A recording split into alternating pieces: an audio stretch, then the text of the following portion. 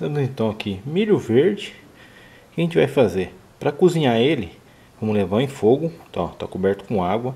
Começou a ferver, vamos contar 20 minutinhos, tá bom? Vamos lá. Aí pessoal, nosso milho já está cozido, tá bonitão, né? O que, que a gente vai fazer? Vamos pegar uma espiga de milho agora. Ó, bem quente. Vou espetar aqui em cima, ó. Ficar assim, ó. Vou pegar um pratinho. Colocar aqui. E você vai vir com uma faca afiada. Só cortando aqui, ó. ó. ó.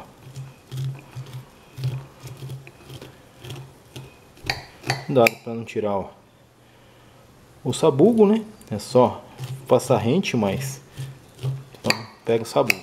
Ó. Aí pessoal, e com milho ainda quente, o que, que você vai fazer? Você vai pegar aqui, ó, jogar ele num, num outro potinho, ó, botar uma boa colher de manteiga, ó, já mistura, que a manteiga vai derreter com a caloria do milho. Ó, como ela vai abraçar o milho. Aí você pega, você salga conforme gosto.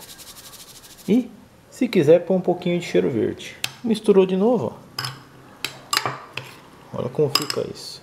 Bem parecido com aquele que o homem do milho vende. Vamos experimentar, ó.